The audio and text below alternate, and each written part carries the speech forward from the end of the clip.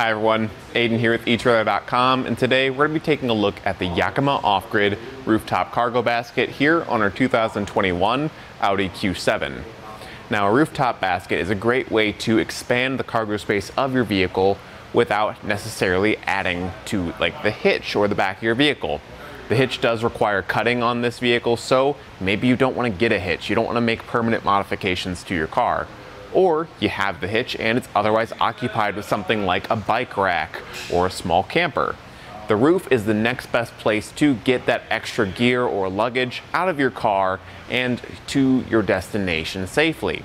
We do have that third row of seats, so if we have that up and we've got passengers in there, that back cargo area is not super big and we need that extra space wherever we can get it. Now you've got a ton of options when it comes to rooftop baskets. There's some that definitely lend themselves more to aesthetics. There's some that are very purpose built, like the Yakima Skinny Warrior, that will leave a lot of excess space on your roof rack for something else like a bike rack or a kayak.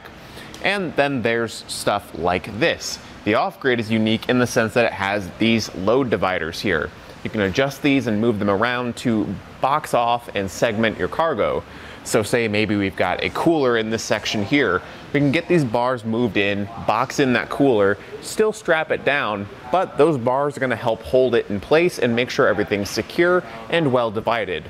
Now with all that cargo loaded up, we do wanna be mindful of our weight capacity we do have 165 pounds of weight capacity, which is definitely on par with other baskets out there. The one thing you want to keep in mind is that your roof rack is going to have its own weight capacity, and more than likely, because of the added weight of the empty carrier, we will want to go by that rating. So just make sure you're not overloading any sort of component in your system there, and you're hauling all your gear safely.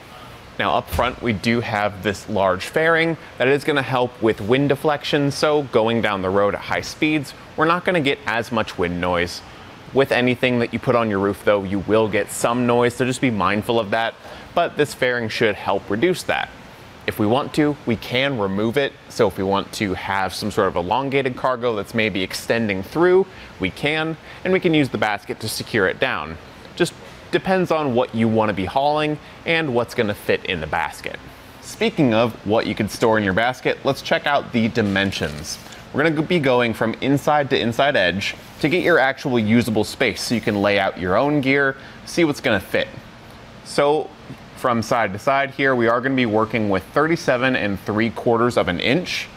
And for front to back, I'm going to measure from the fairing just down to the end of the cargo basket here, which is about 41 inches. But keep in mind, you can choose to remove that fairing and have a little bit of overhang comfortably on each edge. Just be mindful of having everything secured down properly so nothing shifts on you. Now, as far as how this attaches to your roof rack, I really like the system this has.